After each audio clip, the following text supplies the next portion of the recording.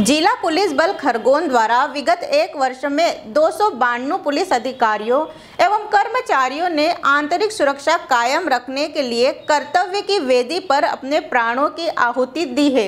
इसी को लेकर खरगोन शहर के डीआरपी लाइन स्थित शहीद स्मारक पर सोमवार को पुलिस शहीद स्मृति दिवस मनाया गया। इस मौके पर सांसद गजेंद्र पटेल, विधायक रवि जोशी जिला collector Gopal Chandra dot police अधीक्षक सुनील कुमार पांडे, अतिरिक्त पुलिस अधीक्षक शशिकांत कनकने सहित बड़ी संख्या में पुलिस अधिकारी और पुलिसकर्मी मौजूद थे।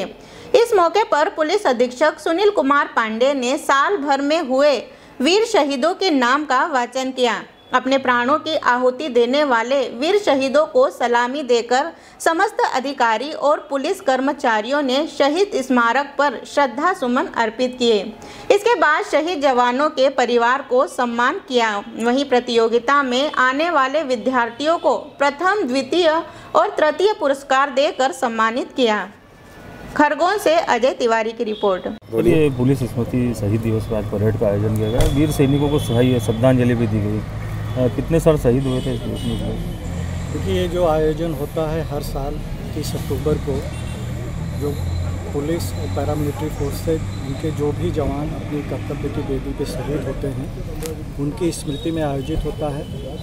और आज जो यहाँ आयोजन हुआ, टू नाइन्टी टू उसमें थे हमारे पुलिस और पैरामिलिट्री फोर्सेज के जवान जो शहीद हुए थे।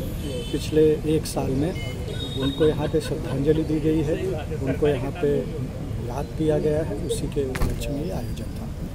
खरगोन के भी एक शहीद बसंत वर्मा के परिवार को हाँ ये जो हमारे ज़िले के शहीद थे इनको यहाँ हम लोग सम्मानित करते हैं। उनको आज हमने यहाँ आमंत्रित किया था और उनको यहाँ पे सम्मानित किया। हेलो फ्रेंड्स आप देख रहे हैं हमारा channel S W twenty four news हमारे सारे वीडियो सबसे पहले देखने के लिए आप हमारे चैनल को सब्सक्राइब करें और पास में लगे बेल आइकन को दबाना बिल्कुल भी ना भूलें।